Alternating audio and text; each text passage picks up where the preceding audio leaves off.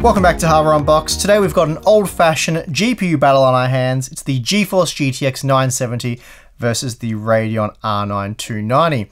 Now recently I did revisit the 290, I checked out how it stacked up against more modern GPUs, but that was more of an upgrade guide I suppose. Today we have the main event and it is a battle that I know many of you have been very interested in and I suppose after five years a lot of you just want to know which GPU is the best. Before that, today's video sponsor is Deepcool and their amazing anti-leak technology featured in the new Captain 240 Pro. After years of research and development, Deepcool has created a leak-free all-in-one liquid cooler using their patented automatic pressure relieving radiator, which, as the name suggests, vents any air pressure from within the loop to avoid leakage. For more information, please check the link in the video description. Okay, so let's quickly rewind for a moment. Back in September 2014, Nvidia revealed the GTX 970 for the first time, some 10 months after the Radeon R9 290's release. So the 970 was the much newer product, and unsurprisingly, it came in offering a little extra performance at a slightly better price. AMD did quickly respond with aggressive R9 290 price cuts, but with the 970 generally 10 to 15% faster on average and considerably more power efficient, it went on to be a bestseller despite the VRAM controversy. Throughout 2015, the GTX 970 was typically the punchier GPU, and with a slew of high quality AIB models to pick from, it easily outsold the R9 290. However, many of those who purchased the R9 290 were jumping up and down about how it would be a better investment down the track. Whether or not they were talking five years down the track, we'll never know. But at least today we can settle which GPU offers the best performance in 2019.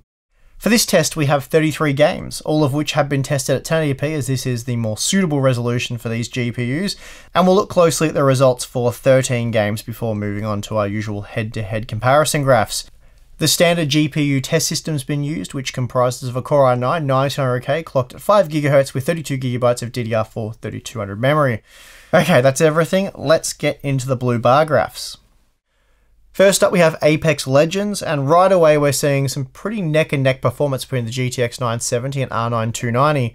This one's simply too close to call, and with just a frame in it, which is well within the margin of error, it's safe to say performance was identical using either GPU. When compared to a modern GPU, we're looking at GTX 1063GB light performance, so not amazing, but given their age, it is also reasonably impressive. Moving on, we have The Division 2, and this is a title that works exceptionally well with AMD hardware, as evidenced by Vega 64 beating the GTX 1080 and RTX 2060, while the 580 crushed the 1060. So with those comparisons previously established, it comes as little surprise that the R9 290 absolutely dusts the GTX 970, beating it by a 19% margin. The 970 does perform significantly better than the 3GB 1060, but even so, you will want to dial down the quality settings a little bit. Next up, we have Shadow of the Tomb Raider, and this is another title that sees AMD GPUs doing very well, and here the GTX 970 was 12% slower than the R9 290. The 970 basically mimicked the GTX 1063GB, or I guess you could say the 1060 mimics the GTX 970. Either way, performance was decent, despite trailing the R9 290. Okay, so I promise this order wasn't picked on purpose, but here we have yet another title that works extremely well with AMD GPUs. Again, the GTX 970 was 12% sold in the R9 290, this time when testing with Forza Horizon 4, though I should note that despite that, performance was still very playable. Still, in three of the more recently released titles, we've seen the R9 290 doing exceptionally well. Finally, we have a solid win for the GTX 970, this time when testing with Hitman 2 using the DirectX 11 API. That said, I should just quickly point out that enabling the new patched in DirectX 12 mode uh, doesn't really change things at all. The 970 was still the superior GPU in this title. Performance in Just Cause 4 was pretty similar using either the 970 or 290, the GeForce GPU did pull ahead in our test when looking at the average frame rate, however the 1% low result was identical with both managing 40 FPS, so overall the experience was much the same. Moving on, we find a rather close battle when testing with Resident Evil 2. The R9 290 was just 6 FPS faster at 1080p, and this meant the 970 performed more like a 3GB 1060. Again, not a bad result given the average frame rate was 66 FPS, but this one is still a clear win for the 290. Fortnite is a game that does favour Nvidia GPUs thanks to its use of the Unreal Engine 4. This can be seen when comparing the GTX 1060 and RX 580 for example. It can also be seen when comparing older GPUs such as the GTX 970 and R9 290. Here the 970 was 18% faster, delivering 87 FPS on average. The GTX 970 also stacked up really well in Metro Exodus with an average of 48 FPS at 1080p using the ultra quality settings. This meant it was 23% faster than the R9 290, placing it basically on par with the 6GB GTX 1060 and RX 590. So a very solid result for the old Maxwell GPU. Next up, we have Tom Clancy's Rainbow Six Siege, and here the GTX 970 is more competitive than I was expecting. I recall this being a pretty easy win for the R9 290 back in the day, but here it was just 5% faster on average. That said, the 1% low performance was still more consistent, though the experience was still extremely smooth with the GTX 970. And then moving on, frame rates were surprisingly similar when testing with Battlefield 5. Here the GTX 970 was just 3 FPS faster, equating to a 5% margin, and this is why I typically call it a tie when the margin is 5% or less. Still, this meant the 970 did very well in this title. As we've seen many times already, it's often very similar to the 3GB GTX 1060. Second last game tested is World of Tanks, and this is a title that generally doesn't like AMD GPUs, or perhaps it's AMD GPUs that don't like World of Tanks. Either way, it's not great news for the red team. The R9 290 was still able to deliver very playable performance, but we see a 36% uplift when looking at the GTX 970. That's obviously a rather significant performance improvement. And the last game that we're going to look closely at the results for is Far Cry New Dawn and here we have a tie. 70 FPS apiece, and that placed both the GTX 970 and R9 290 on par with the 3GB 1060. Performance at 1080p using the ultra quality preset certainly was respectable, and you won't need to turn down any quality settings here.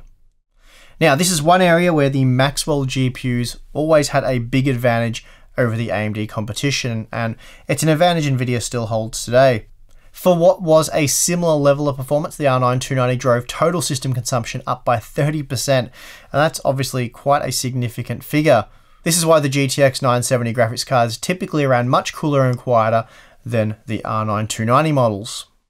Okay, so that's how the GTX 970 R9 290 stack up in all those titles, and it seemed as though we saw quite a bit of back and forth, so I'm really interested to see which model was faster overall. Based on what we've seen so far, I don't imagine the 970 is still 10 to 15% faster like what most reviewers, including myself, found back in 2014. That said, let's just jump into the 33 game comparison to find out what's what. Well, there's your fine wine working right there, aka AMD's slow driver development. Seriously though, that is an impressive comeback for the R9 290, but it is interesting to note that while overall they were much the same, the 970 was faster by a 5% margin or greater in 16 of the 33 games tested, while the 290 was faster by a 5% margin or greater in just 11 of the games. So the 970 certainly was the more consistent performer. The smaller 3.5GB primary VRAM partition hurt it in Wolfenstein, especially with the settings used for testing.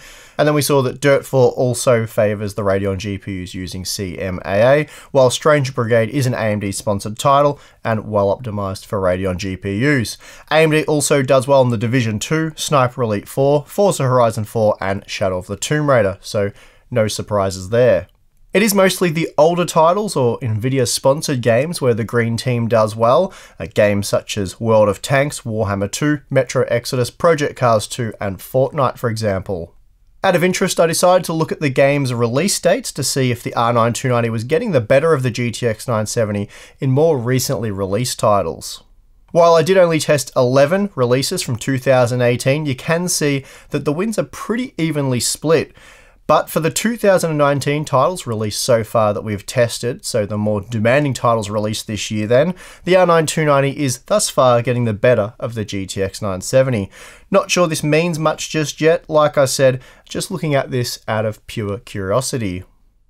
Moving on, I decided to see how the GTX 970 stacked up against the GTX 1060 6GB, and on average the GTX 970 was 15% slower. So here we're comparing a 2014 release with an MSRP of $330 US to a 2016 release with a $250 US MSRP.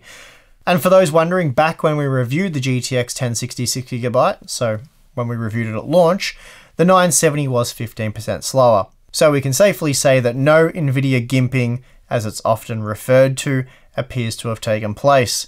Of course, NVIDIA doesn't actively GIMP performance. We've proven this time and time again on the channel. It's a complete load of nonsense, and plenty of other media outlets have also proven this.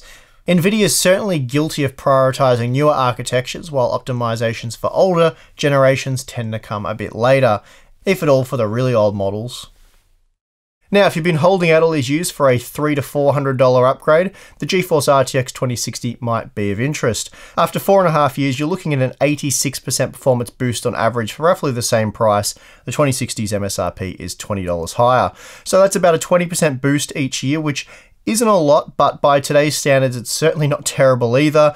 And really, this is your best option at this price point at least your best readily available option at this price point. Because yes, I know sometimes Vega 56 are selling for $300 in some regions, but not all regions and not Australia. But anyway, obviously you can see what options you have available in your region. If you have a $300 Vega 56 graphics card, then yeah, that might be worth buying.